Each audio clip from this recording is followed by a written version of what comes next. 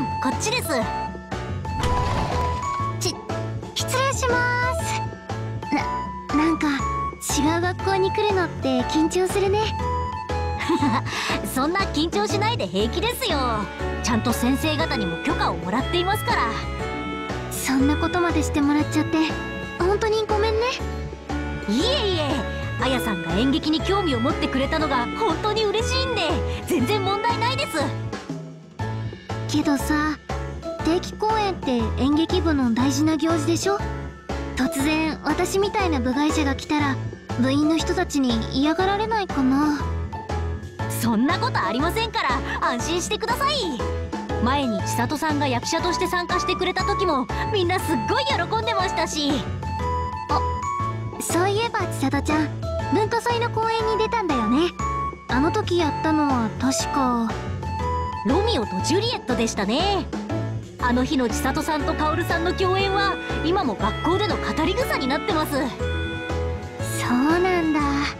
やっぱり千里ちゃんってすごいな。それにしてもあやさんが演劇の裏方に興味を持ったなんて本当に驚きましたよ。あやさんはステージの上で輝く人ですからね。か輝くってそれは言い過ぎだよ現場のスタッフさんっていっつもキビキビ動いてるでしょ？私に足りないのはあのキビキビした動きなのかなって思って。キビキビ動くあやさんですか？それはもはやあやさんではないかもしれないですね。そそれってどういう意味？ああいえ特に深い意味は確かに現場の裏方さんっていかにも職人って感じがして自分もああいうのすっごい憧れますよ。憧れる。だって。どうやら私の話をしていたようだね。ああカオルさん。マヤが私に憧れていたとは知らなかったよ。その気持ちを隠すのは大変だっただろうね。辛い思いをさせてすまなかったね。マヤいえ今話してたのはそういうことじゃなくてですね。あやさんもうちょっとこっちに。おや誰かと思ったらパスパレの子猫ちゃんじゃないか。ここんにちはカオルさん。お邪魔してます。ああなるほど。今全てを把握したよ。そっちの子猫ちゃんもまた私に憧れていると。つまりそういうことじゃないです。とりあえず自分の話聞いてもらえますか？なるほど。よくわかったよ。あやが裏方の仕事を学ぶため次の定期公演に参加したいと。は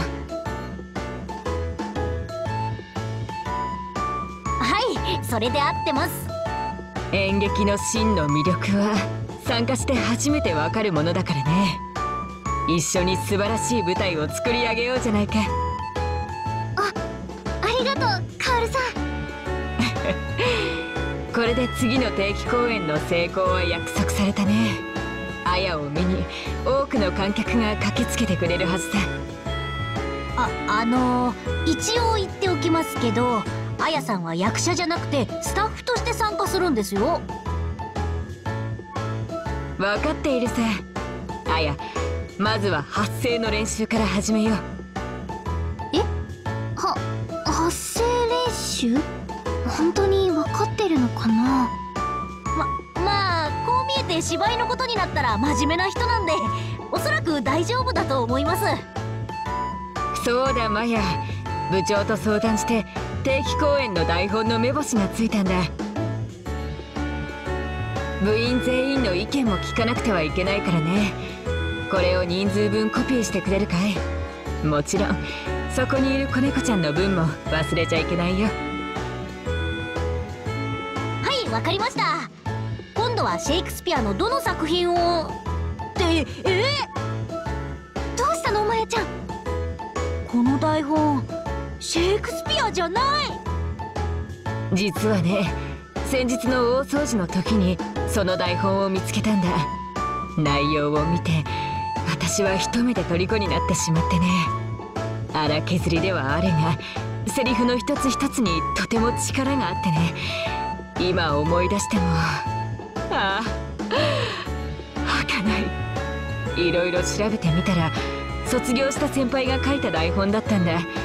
さっきその先輩から上演許可の連絡をもらったよ。え？カオルさんがそんなことまで？今回は実験的にこの台本で行ってみようと部長と話してね。もちろん私のシェイクスピア愛は変わらないが何事にも例外はあるものさ。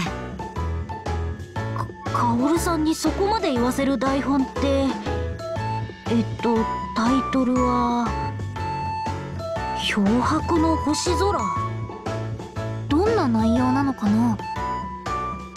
主人公はさまざまな星を旅する旅人なんだたくさんの出会いと別れを繰り返しながら自分がこの世界に生まれてきた真の意味を知るそんな儚い物語だね。おおなかなかいい雰囲気ですね。ラストシーンの主人公のモノローグは圧巻の儚さだったよ。私演劇のことにはあんまり詳しくないけど話を聞いただけでも面白そうな感じするただその分裏方として頑張らなくてはいけませんよ。いろんな星を旅するとなると照明や舞台装置はもちろん衣装小道具にもこだわらないといけないですから。